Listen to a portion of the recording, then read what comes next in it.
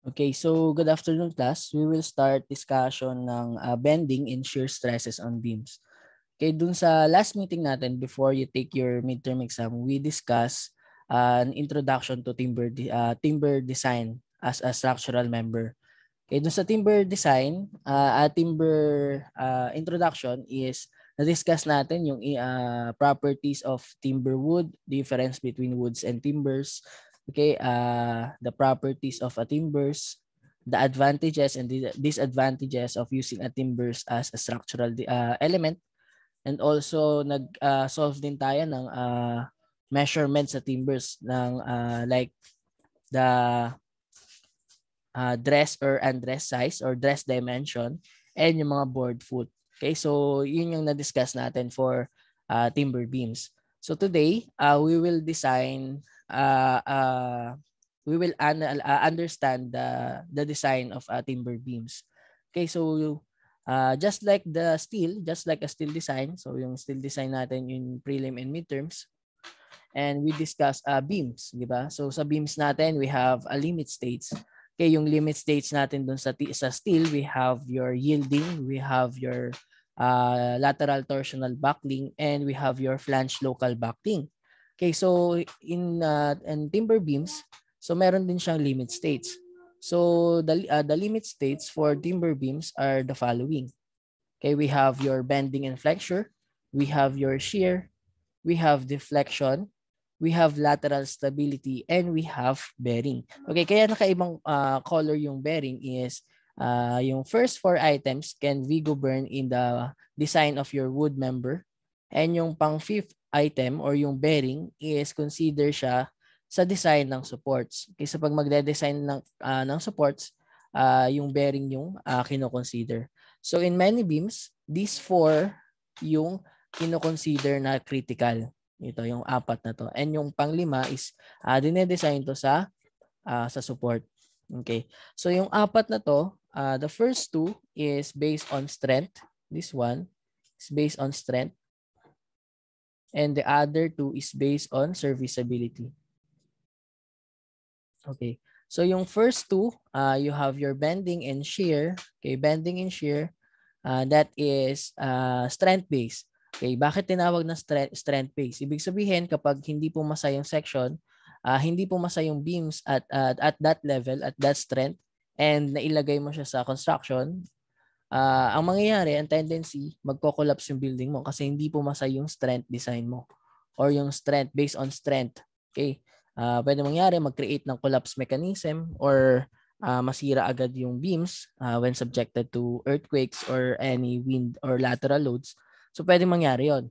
Uh, so that is a strength uh, requirements sa timber beams. So under the strength requirements, you have your bending and flexure and yung shear. Okay, under serviceability requirement, uh, sa timber beams, you have your deflection and you have your lateral stability. So for deflection, na discuss natin yan yung sa design of timber beams natin. So yung deflection is yung pag-deflect ng uh, beams. Okay? So if you are a structural engineer and uh, sa, like uh, example, you are a structural engineer of the project and uh, the client so uh, uh, malaking deflection dun sa beams mo. And you tell the client na uh, pasado po yan, pasado yung beam ko na yan kahit so nakikita nila na malaki yung deflection. So sa tingin nyo ba maniniwala yung client even if you provided uh, a heavy calculations or very uh, tedious calculations to show na uh, pasado siya sa deflection. Okay, so hindi siya maniniwala dahil uh, based doon sa nakikita niya, malaki yung deflect ng beams. Okay? So, kino-consider din yung deflections. And, and also, kapag uh, you have a non-structural element sa ilalim ng beams, kapag malaking deflection, hindi mo na-consider, mapa- mangyayari, ang tendency, let's say for example, you have your glass window dun sa ilalim ng beams is mababasag. May crack na makikita. Okay, or also may, uh, let's say you have uh, walls, pwedeng mag-crack yung walls agad-agad. Kasi uh, subjected siya sa deflection, hindi na consider sa design yung deflection. Okay, also you have your lateral stability. Okay, 'di ba, we have your lateral torsional buckling sa steel.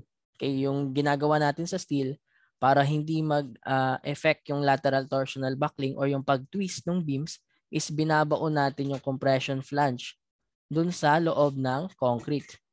Okay, binabaon natin yung compression flange dun sa loob ng concrete para yung lateral torsional buckling it will not occur.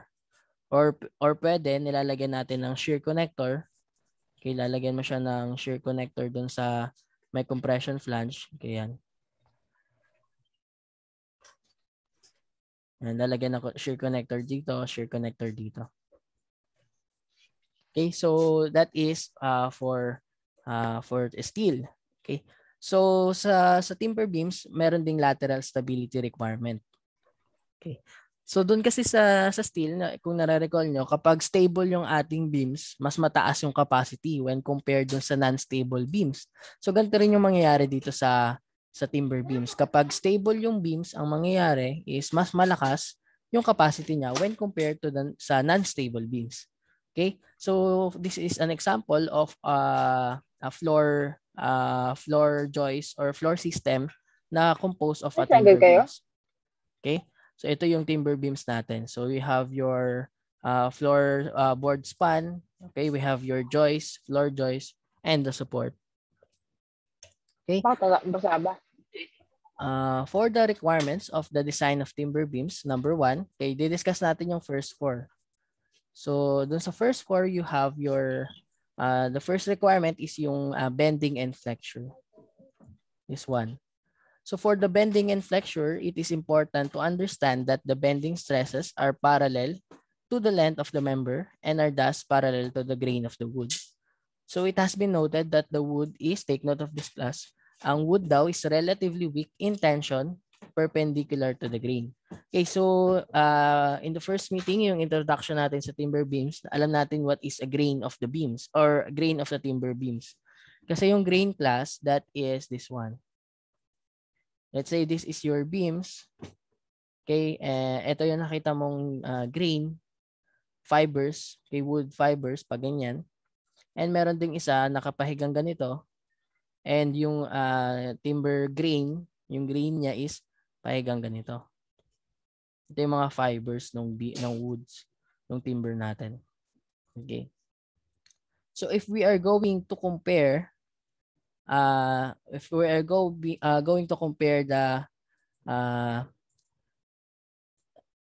uh, the uh, which is uh, better kapag mag uh, magle-layout ka ng beams is in this ma in this condition or in these conditions. Okay, so according to the properties of a beam, yung beam daw or a wood is very weak in tension perpendicular to the grain. So yung tension perpendicular to the grain, so this one is your tension. So ano? Okay, if you apply a load here, then the tension dyan. So perpendicular, dito yung grain. So perpendicular siya dun sa grain, which is, therefore, kapag ganito yung arrangement natin ng beam natin, this is uh, not uh, not good or uh, uh, hindi okay kapag ganito yung arrangement. However, kapag ganito yung arrangement natin, okay, if we apply load here, then magte-tension dito, mag magkakaroon ng tension doon sa ilalim. So that is a parallel to the uh, to the grain. Okay, so ibig sabihin, ito yung much better arrangement. So dapat kapag maggagawa ka ng timber beams, yung fibers or yung grain ng wood mo is parallel to the length of the beam. So ito yung length of the beam. So this one is the uh, length of the beam. Okay. Kapag ganito kasi yung arrangement mo, kapag ganito yung fiber, ang ibig sabihin yan, yan yung, yung length of the beam mo, yan yung diameter of the wood. Okay? So imagine kapag you have 20 feet na length, maghahanap ka ng puno na may 20 feet yung diameter. So in order to have a, a uh, this uh, perpendicular to the grain na orientation. Okay? So yan yung mga, uh, mangyayari. So uh, the best practice is uh, the orientation of the beams is in this uh, manner. Okay? So dapat parallel to the grain. So ordinarily the bending stress in a wooden beam is parallel to the grain. Okay, so for cross grain bending, so hindi siya allow. Okay, hindi to allow.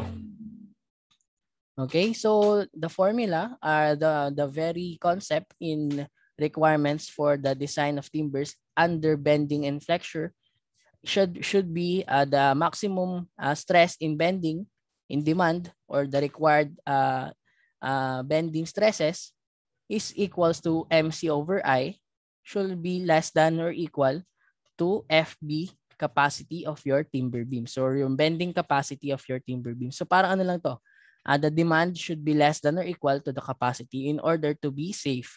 Ganun lang din yung uh, uh, uh, philosophy sa pagde-design sa timber beams. Okay, so for number two naman, the under uh, the requirements for the design of timber beams, we have the, a shear. Okay, dun sa shear, we have a vertical shear and we have a horizontal shear. So for vertical shear, FB is equals to, so take note uh, class, yung F na, na uh, small uh, letter yung uh, simula, that is a demand and the F kapag malaki, that is a capacity. Okay, so for FB, is equals to V over AB for vertical shear shall be less than or equal to the capacity of your timber beams perpendicular to the grain. Okay? So mamaya di-discuss natin to. So for horizontal shear, that is FB is equals to VQ over IB shall be less than or equal to FB or the shear capacity parallel to the grain of your timber beams.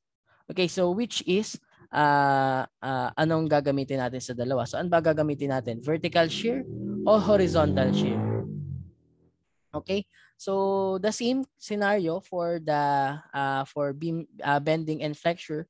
Sa shear din natin, ganun din. Okay? So, sa shear din natin, uh, since ang ang requirement for the bending in uh, flexure is in this manner, in this category, na parallel to the grain, yung uh, the, the the orientation of your wood is parallel to the grain. Yung uh, length of your wood is parallel to the grain. So dapat ganito rin yung orientation natin dito. Okay, so ganito rin yung uh, orientation natin. So it should be in this condition. Ito yung beams mo, parallel to the grain, ito yung grains. Okay, ganyan yung gagamitin. So therefore, uh, if uh, most of the times, uh, ganito naman kasi yung ginagawa na pag-orient ng beams natin, So kapag ganito yung orientation, we will use this formula. Okay, however, kapag ganito yung condition, uh, ganito yung nangyari sa site, ganito yung pagkagawa nyo, ganito yung pagkakalagay nyo ng timber beams, ayan yung fibers. So that is uh, vertical shear. Okay, so ito, this is FB parallel and this one is FB perpendicular. Okay, kasi nga, uh, let's say this one is, ito kasi yung shear, eh, magkikiskisan yung mga fibers dito. So yung green is parallel to the shearing, uh, the shearing uh, direction. And uh, this one, yung green is perpendicular to the shearing direction. Okay, so kaya siya tinawag na perpendicular to the grain.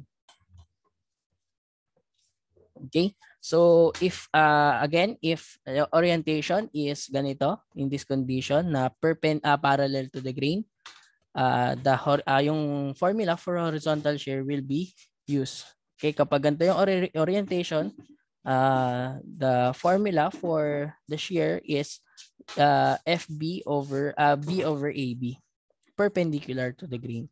Okay, so the formula, uh, this one, V is the demand required shear force. Yung Q is the statical moment of area of axis to being considered. I is the central uh, centroidal moment of inertia. B is the wood, uh, width of the section at the point being considered. And AV is the shearing area. So later on, we will discuss the formula for horizontal shear. Kasi most of the times, we are using horizontal shear or parallel to the grain lang. So doon tayo sa laging tamang uh, tamang orientation of timber beams. So mangyayari lang to kapag mali yung orientation na nagawa sa site.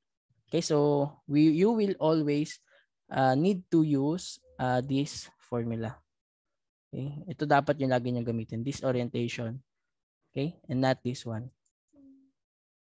Okay, so for the deflection naman, uh, the requirement for the uh, design of timber beams under deflection is uh, given in the formula uh, delta max or the maximum deflection shall be less than or equal to uh, the allowable deflection. So yung allowable deflections naman, uh, that is uh, commonly uh, L over 360, uh, L over 240, or L over 180. Whereas yung L natin is the length of the beams. Okay? So bakit may iba-ibang allowable deflections? So bakit may over 360? Bakit may over 240? Bakit may 180? Okay, so uh, ganito lang. If you have a non-structural element, what is a non-structural element? Okay, yung mga non-structural element that is nakapalob dyan yung uh, CHB, okay, uh, glass, cladding, or uh, ceiling yan, mga non-structural element yan. Okay, so nakakabit yan dun sa structural element. So let's say for example, you have your beam and uh, sa ilalim niya meron siyang okay, wag uh, ganitong orientation. So you have your beam. Okay, this one. And sa ilalim niya merong glass. Okay, uh, ito yung column na frame. Yan. Yan. So ilalim niya merong glass. Let's say this is glass. Okay, so kapag hindi na consider yung deflection, ang mangyayari is uh, pwedeng uh, mag-deflect ito ng malaki. Uh, maliit lang na load, maliit lang yung uh, load dun sa taas, pero nag-deflect na siya ng malaki dahil hindi na consider yung deflection. Okay, anong mangyayari dun sa glass? May ipit yung glass. Ibig sabihin, ang tendency pwedeng mabasag yung glass. Okay? So, kapag mga ganyan yung uh, orient, uh, orientation ng frame, ang kino-consider uh, kino-consider diyan na allowable uh, allowable deflection is L over 360. So gumagamit ka ng L over 180 kapag uh, mga canopy. Sa mga canopy naman, walang problema kasi let's say ito yung uh, let's say terminal canopy. So ganito yung design ng terminal canopy. Yan.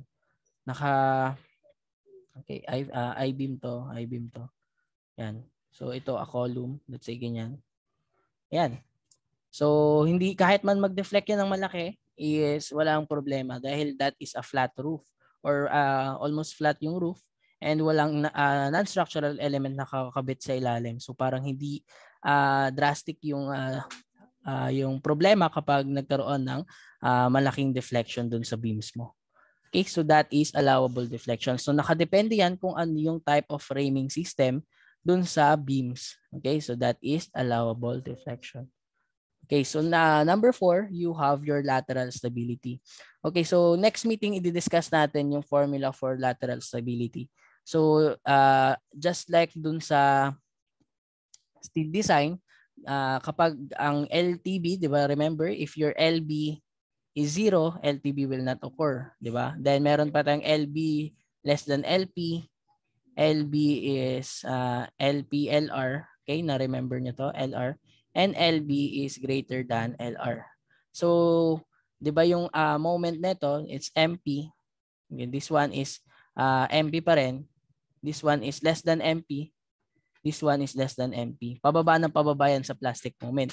So ganito rin dito sa design of timber beams under lateral stability. Kapag hindi stable yung beams mo, subjected siya sa lateral torsional buckling or magla-lateral uh, mag uh, magtitwist, nag magtitwist yan kapag na-loadan. Okay, ang mangyayari, uh, yung uh, maximum stresses niya is hindi ma-reach.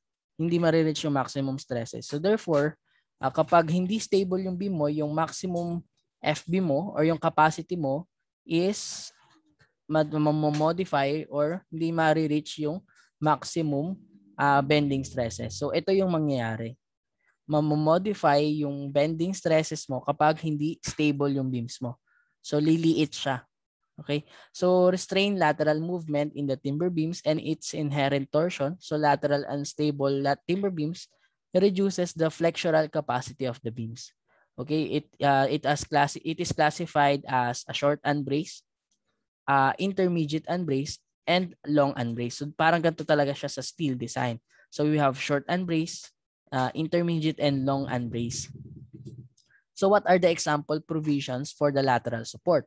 Okay, we have uh, example, uh, we have three example sa paano ba mag ano, mag-provide ng lateral support. So first is yung solid blocking na tinatawag. And the solid blocking is ito yung uh, floor beams mo, ito yung joist or uh, beams. Let's say this is your beams.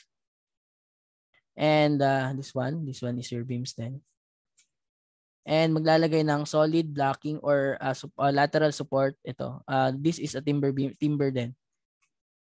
Okay, maglalagay lang ng solid block or ikakabitan lang yan dito ng uh, solid blocking dun sa timber beams. Okay, also we have your uh, herringbone strutting or yung bridging na tinatawag. Okay? I will provide a, a, a picture in uh, these uh, three kapag nandun na tayo sa allowable stresses. So solid blocking or, he, or uh, herringbone strutting or yung bridging. And next one is yung skewed blocking. So under skewed blocking, para din siyang solid blocking. However, naka ano lang, naka-skewed lang yung alignment. Ibig sabihin hindi siya naka naka naka hindi siya naka ano, naka-align. Yan, naka-skewed siya. This one, this one. Okay? So maybe ito nilagyan ng nails or a bolts or a screw. Okay? So that is skewed blocking. So these are the example for the lateral supports in design of timber beams. Okay? So, uh, the common uh, formula, so balik tayo dito. So, first we will discuss, since uh, the topic is bending and shear stresses on beams, so we will discuss the requirements, uh, the first two requirements. Ito yung bending and flexure and uh, shear. Okay, so yun yung i-discuss natin. So number one, we have uh, flexure bending stresses. So be flexure bending stresses and also we will discuss uh, shear stresses. So these are the, the common uh, formula to get the actual or the demand maximum stresses for the following shapes, for the common shapes. Sige. So for uh, number one, so ang goal natin is to be safe. Yung maximum stresses, maximum demand stresses or maximum FB is equals to MC over I shall be less than or equal to FB capacity or uh, flexural capacity of the timber beams. So ano ba yung FB max? Ito, paano ba to kino-compute? Okay. So ang computation niyan is nakadepende sa shapes ng ating timber beam. So we have a rectangular shape or a square shape. We have a circular shape and we have a triangular shape.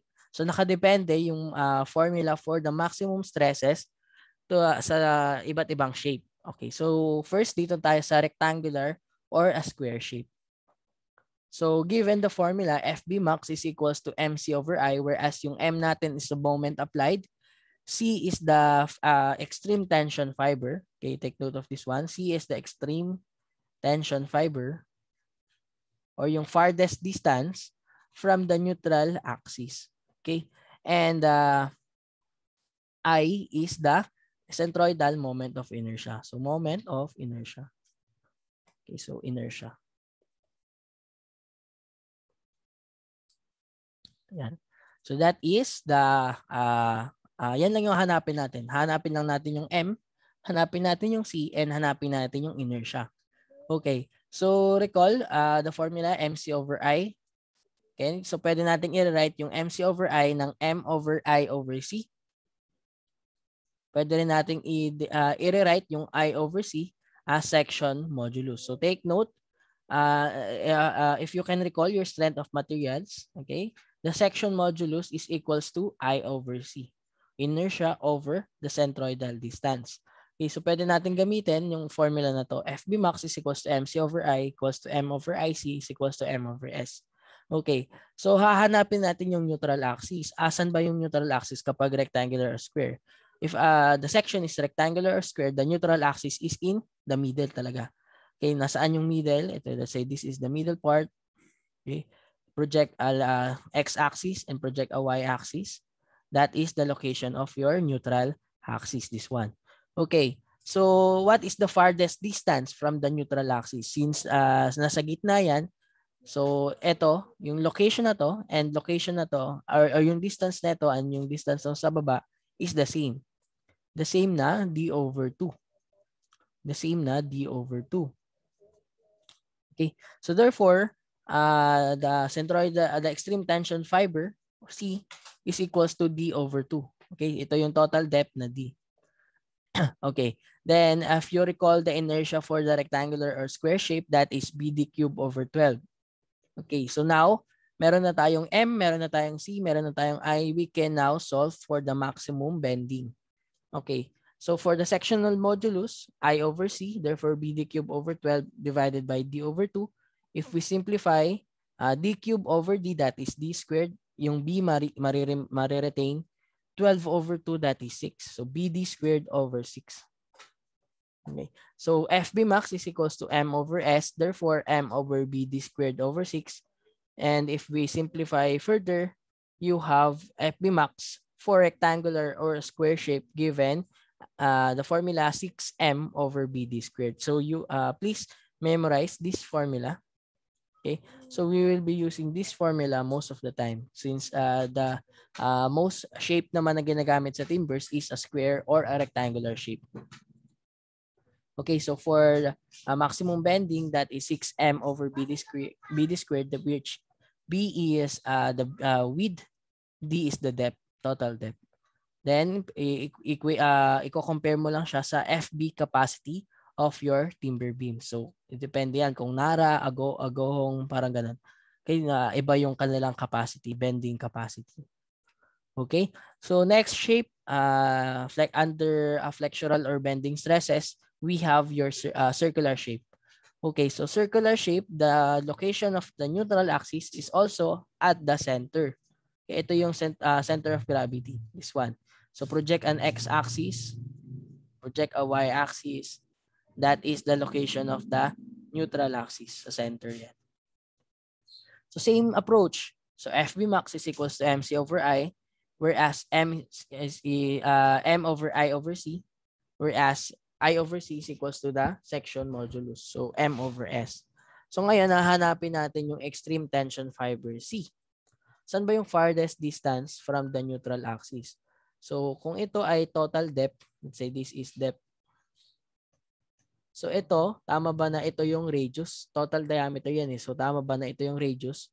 Or equivalent din siya sa d over 2? Kung uh, compare mo yung ilalim, that is also a radius and equal din siya sa d over 2. Okay, therefore, uh, kahit sa taas man o sa baba, the, uh, the farthest centroidal distance is equals to r is equals to d over 2. Okay, and recall the formula for uh, this is uh, recall uh, under your strength of materials, the moment of inertia for a circular shape is given by pi r raised to 4 over 4 or equals din siya sa pi d raised to 4 over 64. Okay. So if we uh, substitute i over c in the section modulus, that is pi over 4 over 4 divided by r. In terms of r, ah, ito yung kinuha ko. And this one, ito rin yung kinuha ko. Okay, so there, therefore that is pi over 4 of uh, pi r raised to 4 over 4 divided by r. Okay, yung r raised to 4 divided by r, magiging r cube na lang. Okay, then maiiwan yung pi, maiiwan yung 4. There, therefore, the section modulus is pi r cube over 4. Okay, yeah, getting the FB max or the maximum bending stress. So M over S, that is moment over yung section modulus na pi r cube over 4 Therefore, uh, reciprocal, um, pupunta sa, sa taas tong 4. Therefore, the maximum bending uh, stresses is 4m over pi r cube and the maximum bending stresses in terms of diameter is equals to 4m over pi d over 2 cube. Okay, so this is the formula. Okay, so uh, pakisama na rin to sa i-memorize nyo. So 4m over pi r cube or 4m over pi over pi d over 2 cube. Okay, this is the bending stresses or the flexural stresses and uh, using a circular shapes. Okay. So for the uh, triangular shape naman, so mga triangle yung timber beams mo, the location of the neutral axis is at this point. Okay? Itong point na to. Whereas 1 thirds D and 2 thirds D. Okay? If you recall your strength of materials, if you find the centroid of a triangle, that is a 1 thirds D sa ilalim and uh, 2 thirds D naman sa taas. Okay? so, uh, find natin yung centroidal distance. So, at this point, dalawa na yung centroidal distance. So, dalawa na yung extreme tension, uh, yung uh, tension uh, edge mula dun sa, sa centroids. Okay, so pwedeng ito, yung location dito, or pwedeng itong nasa top. Pwedeng dito or dito. Okay, so what are we going to choose? So the uh, the definition is extreme tension fiber, the farthest distance from the centroid. So which is farther farther, two thirds D or one thirds D. So we will choose two thirds D. So mas malayo ito kumpara dito from the neutral axis. So therefore, C natin is 2-thirds D. Okay. Then in finding the, uh, the uh, inertia, which is BD cube over 36. Okay, recall the inertia for a triangle. Uh, inertia for triangle is equals to BD cube over 36. Okay, so if we substitute MC over I, whereas C is 2 thirds D, inertia is BD cube over 36, we now get uh, M uh, times 2 thirds D over BD cube over 36.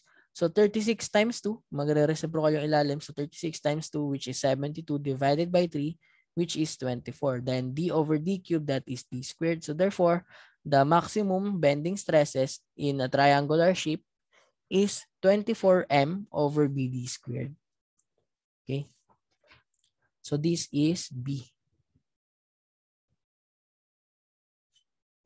And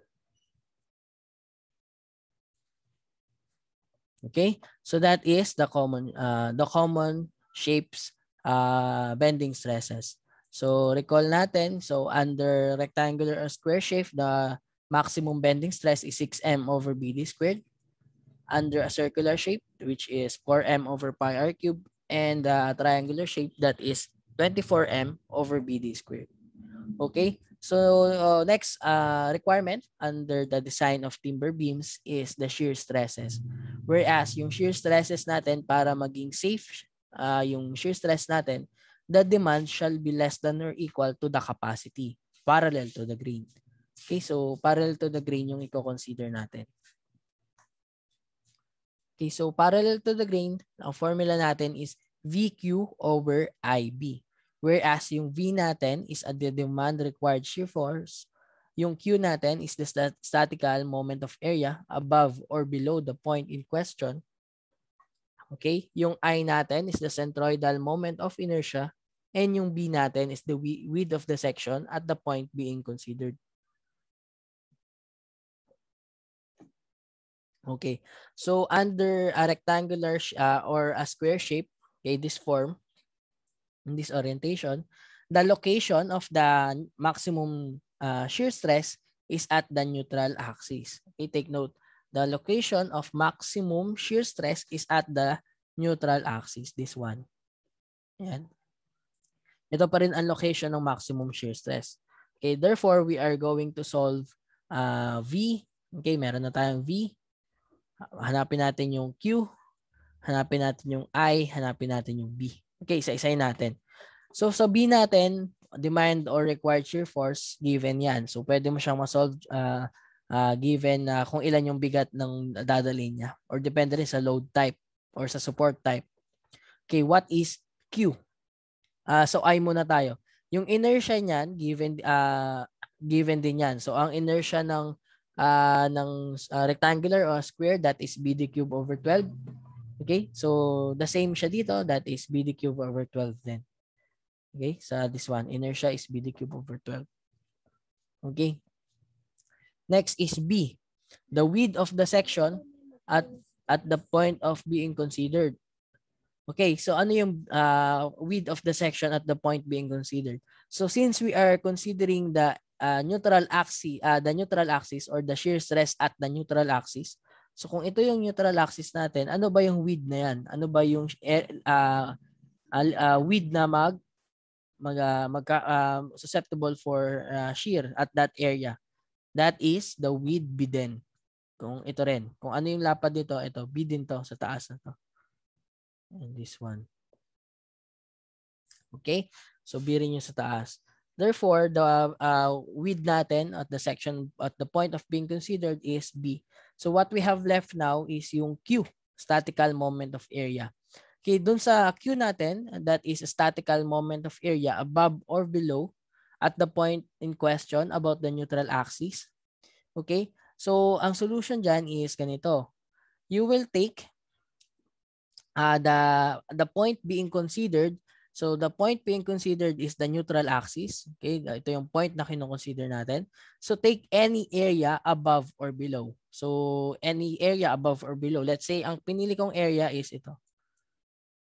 Ito yung area na kinuha ko. Since we are dealing with ano eh, neutral axis eh.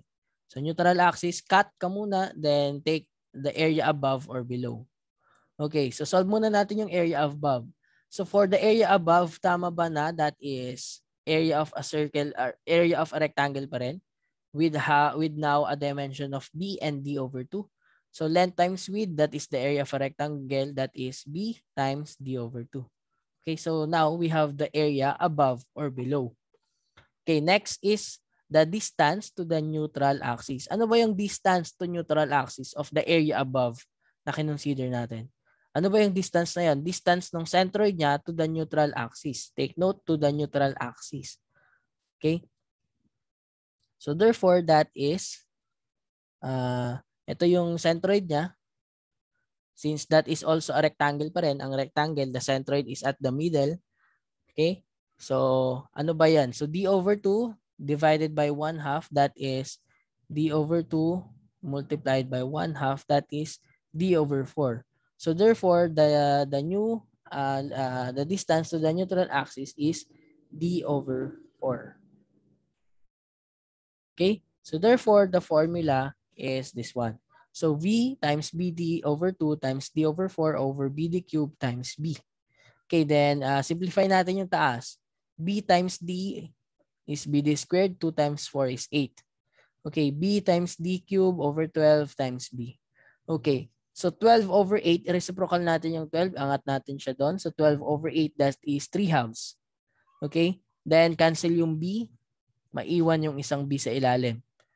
Okay? Makancel yung D. Maiwan yung isang D sa ilalim. Then maiwan yung V. Therefore, the maximum shear stress of a rectangular or a square shape uh, that is equivalent to 3V over 2BD. Okay? So if we want uh, to change BD in terms of area, that is 3 halves V over A. So, pwedeng ito yung gamitin mong formula or pwede rin ito. Okay, that is the maximum shear stress of a rectangular shape. So, ito, i-compare na natin siya sa maximum capacity or sa capacity of your timber beams parallel to the grain. This one. So, kapag less than uh, or equal, that is safe. Kapag greater than, that is not safe or inadequate. Okay, so next uh, section or common shapes is a circular shape. Okay, so under a circular shape, the maximum shear stress is at the neutral axis pa rin. So location ng maximum shear stress is at the location of the neutral axis pa din. So the neutral axis is this uh, center. So take an x-axis, take a y-axis, that is the location of your neutral axis. That is the x and y uh, axis of your neutral axis. Okay? So, ayan. So, madali na yan. So, unahin natin yung V. So, V as is, ano ba yung inertia ng circle? Ang inertia ng circle, if you recall your strength of materials, the inertia of the circle is uh, pi r raised to 4 over 4. Or equivalent din siya sa pi d raised to 4 over 64. Okay?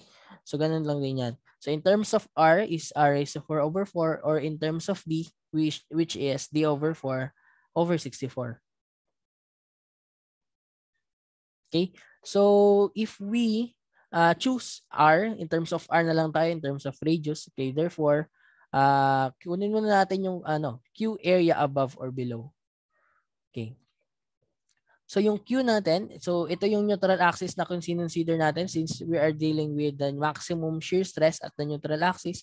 So cut mo yung neutral axis, yung location na gusto mong hanapan ng formula or hanapan natin ng uh, uh, formula for uh, shear stress. Okay, this one. Cut mo siya dito sa location of your neutral axis.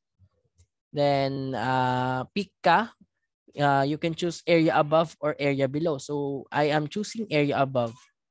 So area above, that is one half of the area of the circle. So that is one half pi r squared. Okay, so I have your area above or below na. Next is what is the distance of that area above or below at the neutral axis. Okay. So, taking your uh, uh, strength of materials, the location of a centroidal distance of a half circle or a semicircle that is 4r over 3 pi. So ito yung location ng uh, lo, uh, location of uh, uh, center of gravity. So the formula is 4r over 3 pi. Therefore, uh, you have your distance to the neutral axis na. Okay? Substitute na natin. So V times Q, pi r squared over 2 times r uh, times the distance that is 4r over 3 pi times the inertia which is pi r raised to 4 over 4 times B. Yung B natin is the diameter. Ito yung B natin.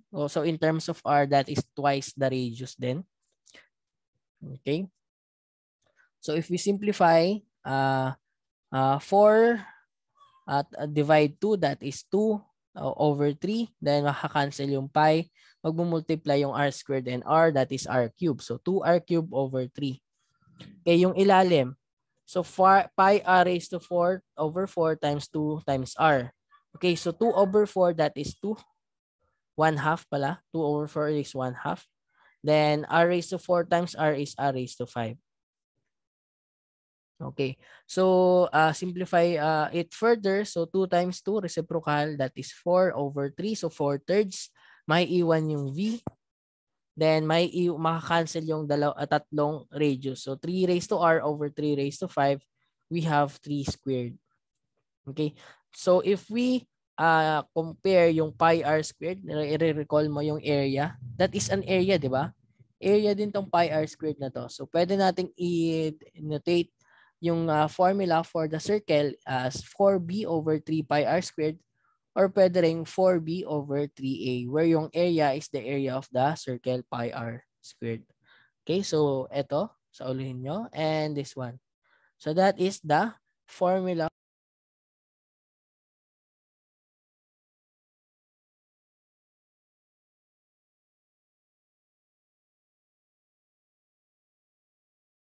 Okay, sorry. Ah, na nawala. Ayan. So, naririnig na ba ako, class? Yes po, sir. Okay. Sige. So, next natin, na next common shape natin is the triangular shape. So, under the triangular shape, the location of the maximum shear stress is not at the neutral axis. So, hindi na siya sa neutral axis.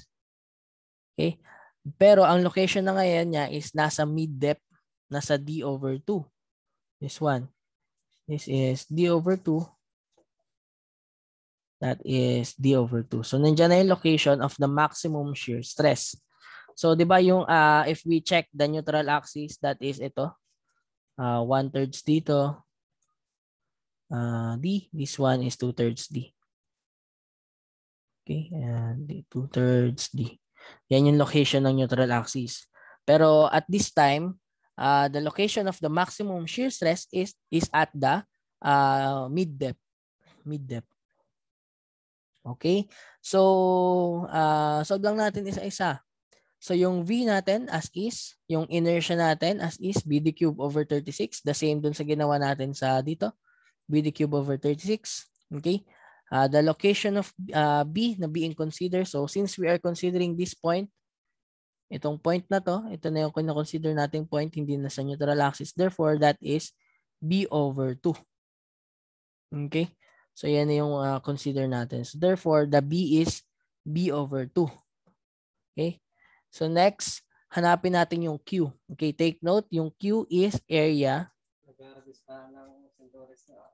area above or below or below multiplied by the distance to the neutral axis. So D from the neutral axis. Okay. So area above or below. So ito yung point of consideration natin, yung mid-depth. So mamili ka, area above or area below. So I'm choosing area below para triangle na lang. Kasi kapag uh, uh, area above, trapezoid pa. So I'm using area below. Ito, itong may shaded region na to. This one. Okay, uh, Itong location na to. Yan. So the area of the the triangle is base times height over 2. Okay? So base which is b over 2 times height which is d over 2 divided by 2. So that is the area of triangle. So next is the distance to the neutral axis. So given na, na sa figure na to yung distance to the neutral axis. So the distance to the neutral axis is d over 3. Ito. Ito yung uh, centroid niya. Okay, ito yung centroid niya. This one. Ito yung centroid niya, then distance niyan papunta dun sa neutral axis, that is d over 3. Ito. Okay? So, therefore, uh, kompleto na, BQ over IB. So, B times D, BD, 2 times 2 is 4 divided by uh, 1 half is 8. So, BD over 8 times D over 3. Okay, so BD over 4 divided by 2 That is BD over 8 multiplied by D over 3. Then BD cube over 36 times B over 2. Okay, so 8 times 3, that is 24. So 36 over 24, that is 3 halves. Okay, may iwan yung isang V, then may iwan yung B at D dito. Okay? So therefore, this one is B squared. Eh. So may iwan. So may matira-tirang isang D dito natin ilagay. That is BD over 2. Okay, so pwede yung formula natin, ito. Ito na yung gamitin mong formula or gaya, igaya na lang natin siya dun sa ibang uh, formula na ka in terms of area. So ang gagamitin natin, we're asking area natin is base times height over 2. So therefore, the, the formula for the uh, maximum shear stress of a triangle is 3V over 2A. Okay? So ito lang yung mga formula natin. So for the summary, under the flexure and bending stresses, Okay, so under the bending and flexure stresses, and uh, the rectangular shape 6x 6m over bd squared, uh, a circle that is 4m over pi d uh, pi d cube over 2 or 4m over pi r cube and the triangle that is 24m over bd squared.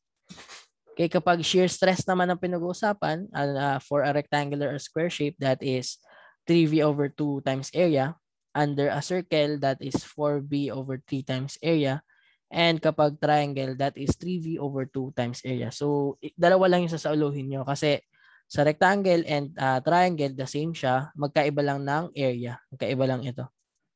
Then, this one is uh, different. So, 4V over 3A. Okay? So, you need to memorize these uh, common shapes uh, uh, section properties of common shapes para hindi na tayo mag uh, para every time na sasabihin ko yung formula, uh, hindi na kayo magugulat. Okay, so ito yung uh, common uh, stresses, flexure and shear stress of a common shapes. Okay, so next is we will discuss the tributary area load for the timber beams. So if you wonder, kung kunwari nagsabi ako sa exam, let's say ito, ito, mga exam natin, ito yung beams, then sinabi ko may, you have a carrying uh, load W. Okay, so ang W, let's say 10 kilonewton per meter. Okay, So pa- saan ba nakukuha yung W na yun? Okay? So paano ba yung uh, pag-solve ng mga load na kaya niya buhatin ng beams? Okay, so ang pag-solve niyan is ganito, using a tribut- tributary area load. So if you ano, if you uh, you are familiar with one-way slabs or two-way slabs, Okay, so take note sa timber beams, it is recommended to lay out your beams in one-way slabs. Okay? So recommended to uh, using a different code, kapag gumagamit ka daw ng timber beams dun sa floor system mo, dapat ang arrangement mo is one-way slabs. Okay? So bakit one-way slab? Kasi ang uh, bending natin sa beams is uh, much better if one direction lang. Okay, so ano ba yung one-way slabs and two-way slabs?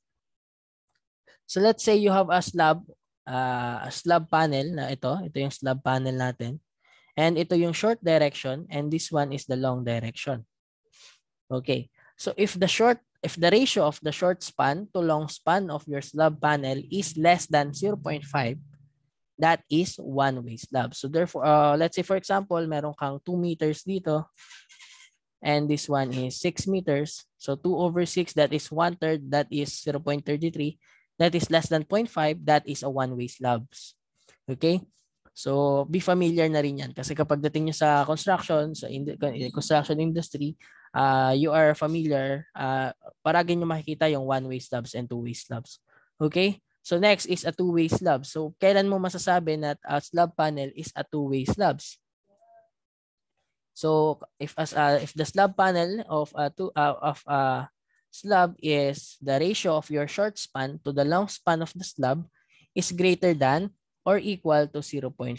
So let's say for example you have a 3 meter slab panel ang short span and yung long span is 4 meters. So 3 over 4, that is 0.75. Okay? So that is greater than 0.5. Therefore, that slab is a two-way slabs. Okay? So, bakit pa kailangan malaman if one-way slabs or two-way slabs? Kasi po, ang direction ng bending kapag one-way slabs is one direction lang. Okay? So, ganito siya. Kapag ito yung bending ng slabs, ah, ito yung slabs mo, ito yung orientation. Yan. Okay, along short span lang yung bending. Tama ba yung drawing ko? Okay.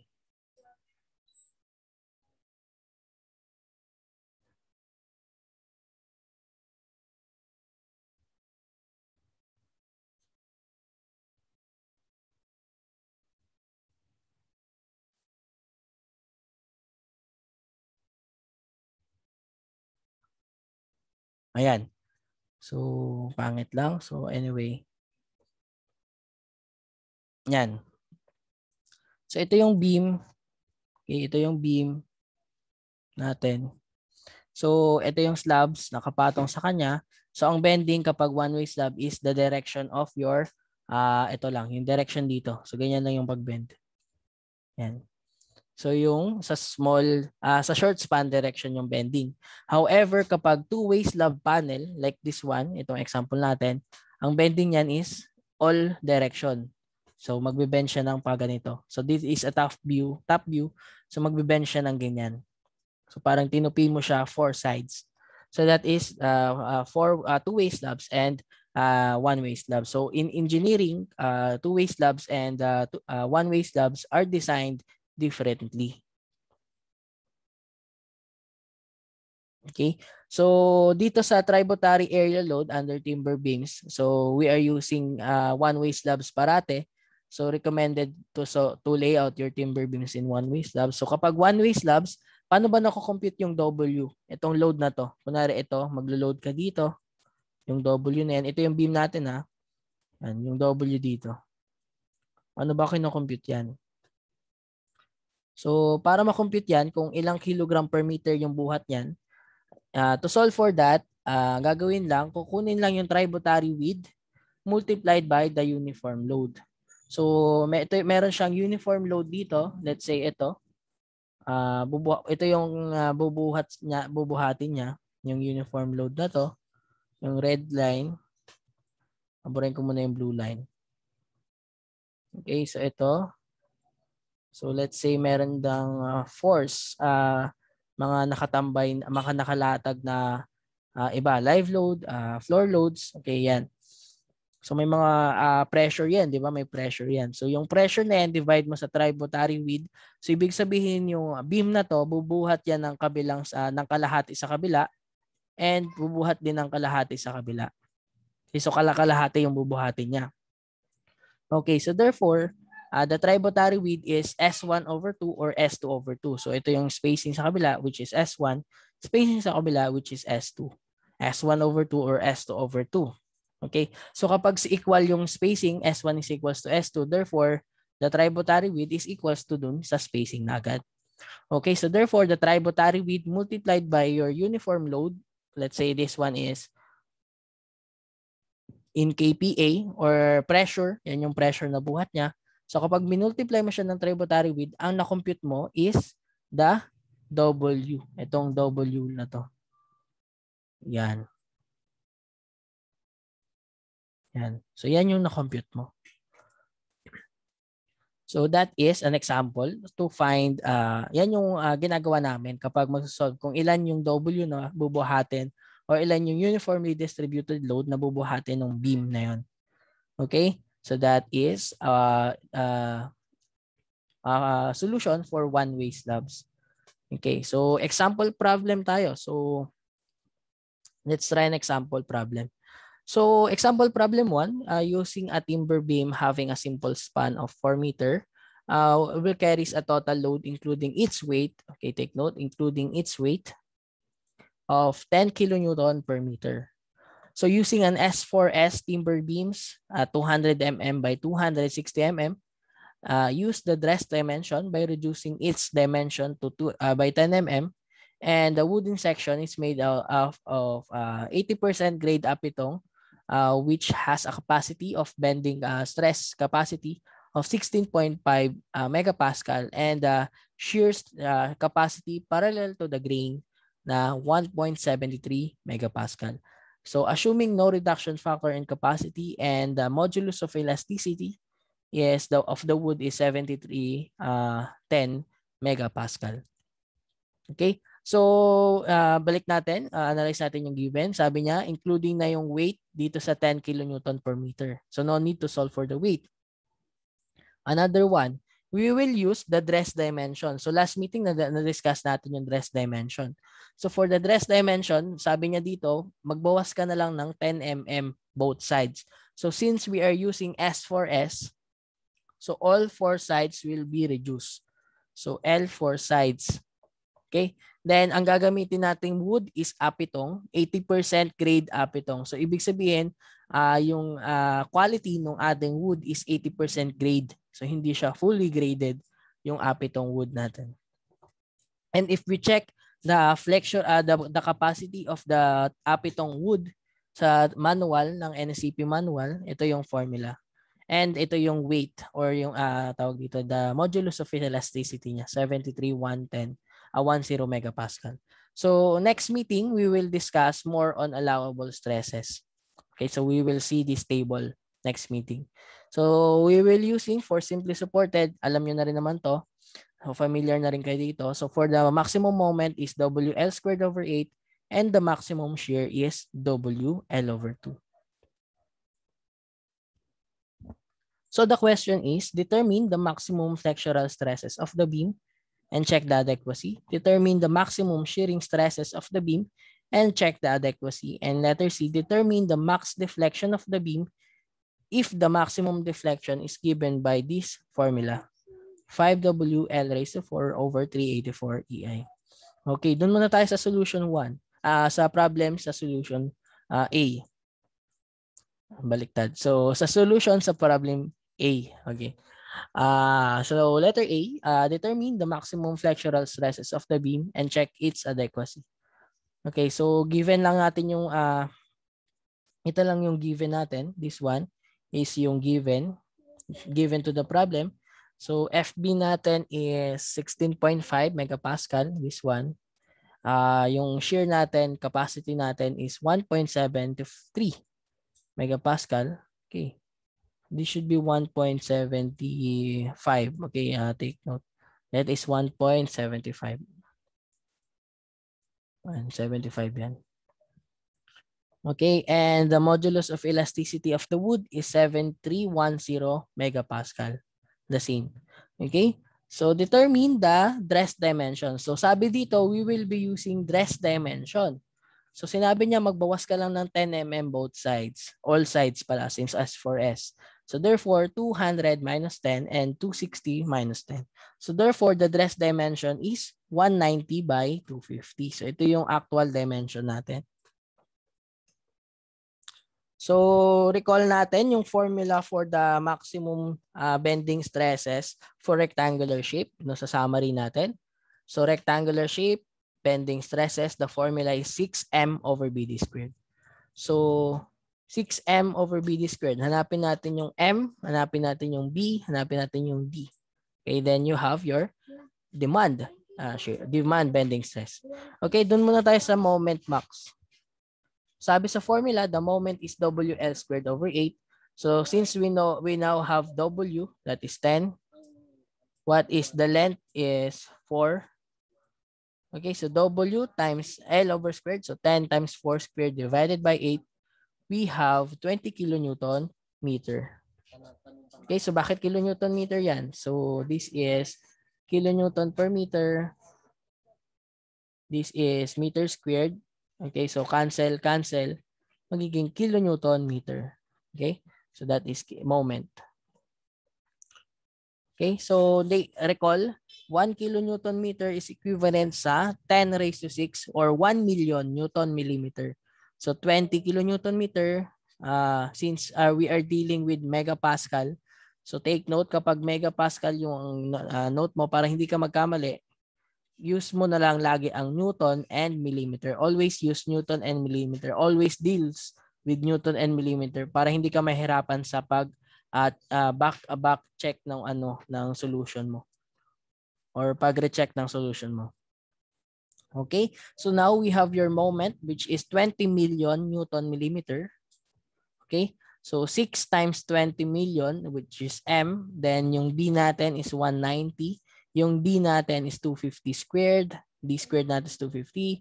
Therefore, that is 10.105 megapascal. So if we compare that to the maximum or uh, the flex uh, capacity of your 80% uh, 80% grade apetong na 16.5. So since the demand is less than the capacity, therefore the timber beams is safe in flexure. Okay? So next problem is determine the maximum shearing stress of the beam and check its adequacy. So recall natin yung formula for a rectangular or square under the shear stress that is 3V over 2A. This one. 3V over 2A.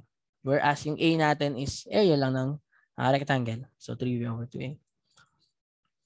So hanapin natin yung V, hanapin, hanapin natin yung A or yung A natin is B times D. So alam naman natin yung B times D eh, di ba? So that is the dress dimension. So what we have left now is yung V lang or yung uh, demand force. Demand shear. Okay, so ga, ga, uh, sabi sa given, simply supported, the maximum shear is WL over 2. Okay, so W that is 10 kilonewton. Uh, sabi niya dito that is 10 kilonewton per meter. Yung L natin is 4 meters. Okay, so cancel yung meters na what we have left is kilonewton. Okay, so recall. Okay, ibang kulay. Recall. Uh, 1 kilonewton is equivalent sa 1,000 newton. Kasi word na kilo, that is 1,000. So 1 kilonewton is equals to 1,000 newton. Okay, therefore, 20 kilonewtons. So sabi ko nga, always deal with newton and millimeters. So convert mo na agad sa newton. So that is 20,000 Newton. Okay, so pasok mo lang siya dito sa FB Max. And since uh, 3 times 20,000 over 2 times B, which is 190, and D, that is 250. So this is the dress dimension, ha, 190 by 250. So if we solve for this uh, uh, demand shear stress, that is 0.63 megapascal. So if we now compare that to the capacity of uh, shear parallel to the grain, which is 1.75, we can say that the beam is safe in shear. Okay? So safe na siya sa flexure, safe na siya sa shear. So uh, what we have left is uh, determine the maximum deflection. Okay, so that deflection. So sabi sa given, the formula for the maximum deflection of a simply supported is 5W L raised to 4 over 384 EI. So, hahanapin lang natin yung W, hanapin natin yung L, hanapin natin yung E, hanapin natin yung I. So, isa-isahin lang natin. Yung W natin, alam na natin. So, we have W na given. That is 10 kilonewton per meter. Yung L natin, that is 3 meters. Ah, 4 meters, sorry. That is 4 meters. Okay? So, no, no problem. Yung E natin, given yan. So, that is the modulus of elasticity of the wood. Given yan. Binigay yan dito. That is 7310 megapascal.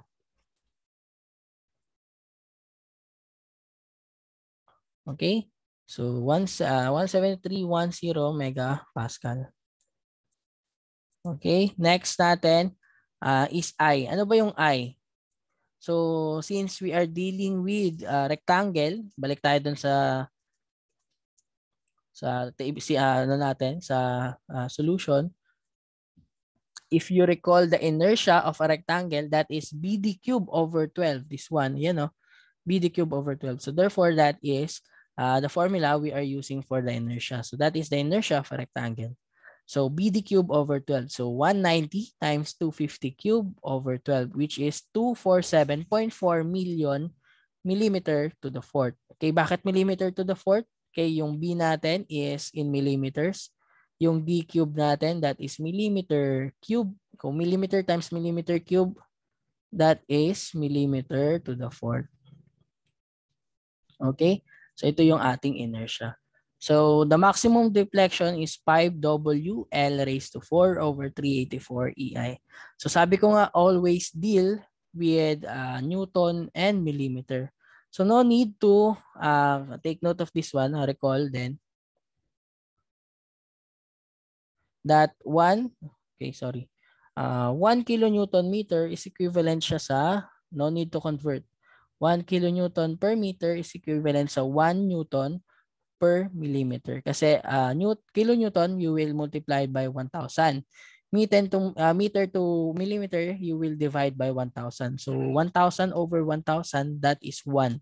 So therefore, 1 kilonewton meter is equivalent sa 1 newton millimeter. Okay, so this one, 5 times 10 newton millimeter multiplied by 4,000 para maging meter, uh, millimeter raised to 4 over 384. Ang MPa class is uh, uh, Newton millimeter squared. Uh, this one is BD cube over 12. Okay, this one is 7310. Copy mo siya as is. Dapat naka in terms of megapascal. Okay, or Newton millimeter squared. And inertia is naka millimeter 247.4 times 10 raised to 6. Therefore, the maximum deflection is 18.43 millimeters. So pwede mo tong i-check uh, based on the allowable capacity na L over 360, L over 180, or L over 240. So ito na yung problem C natin. So this is the first three requirements of your uh, timber beams. So do you have any questions for example problem 1?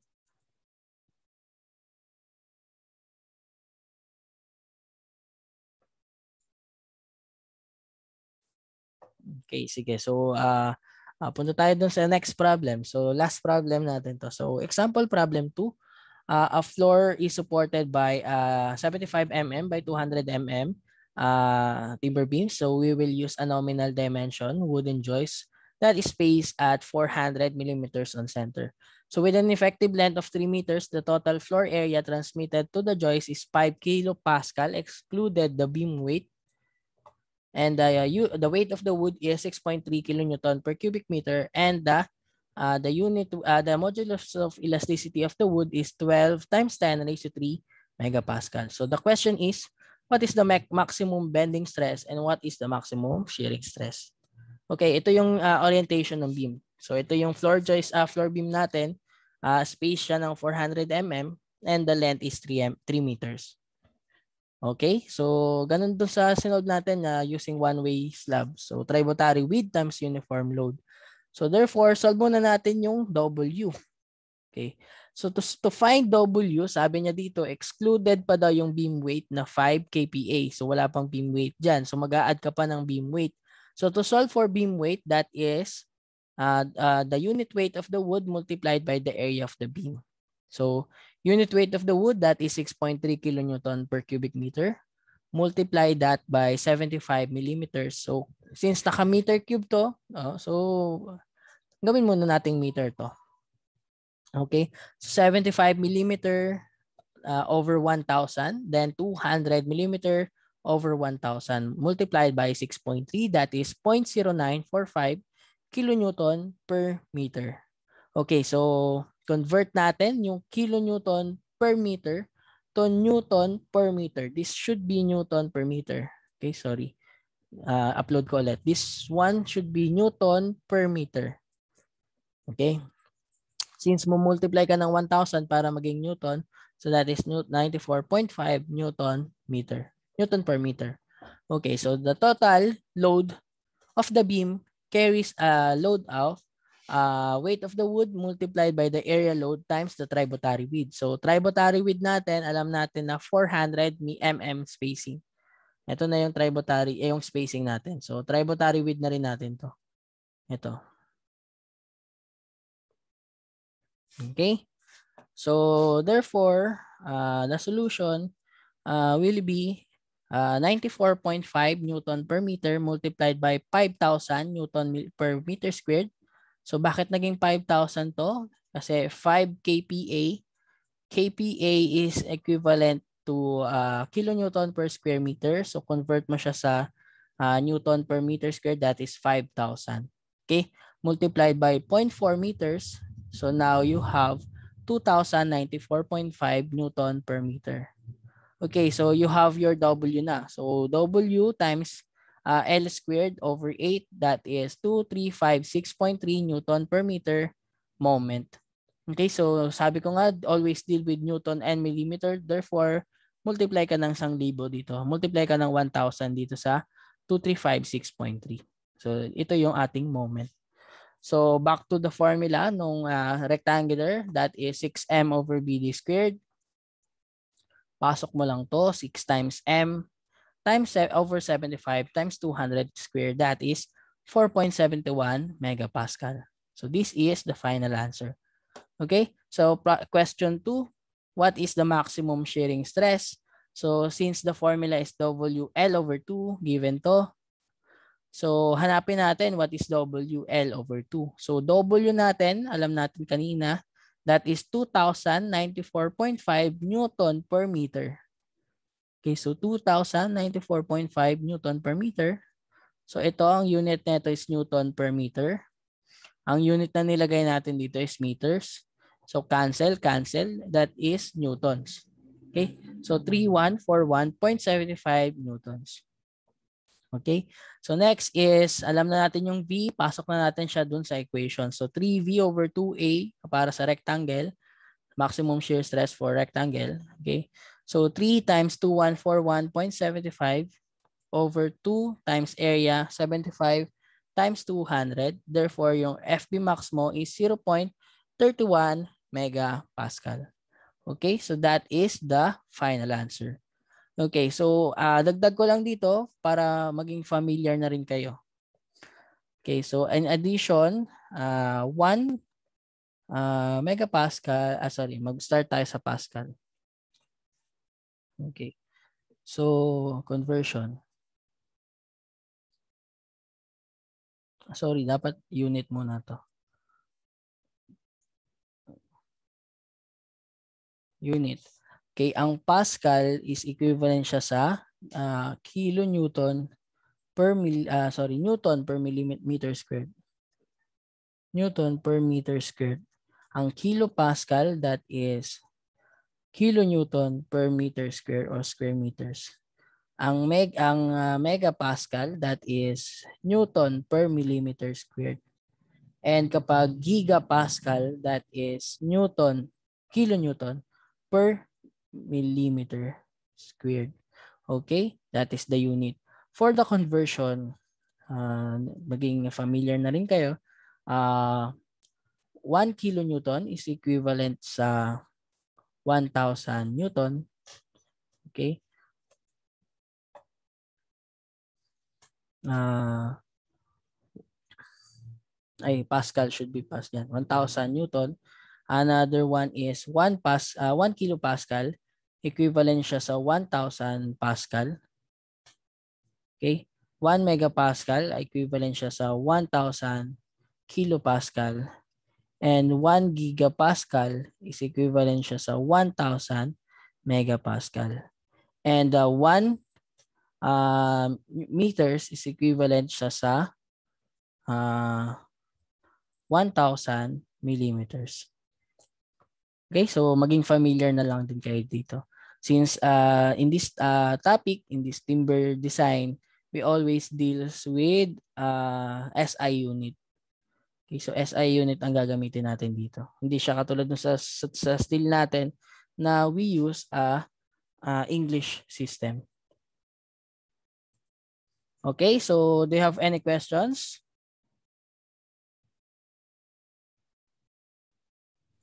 None po. Okay. Sige, uh, sakto tayo. So, stop share na ako.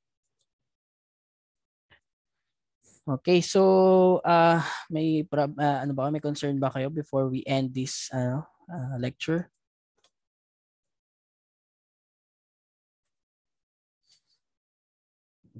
Okay, sige. Uh,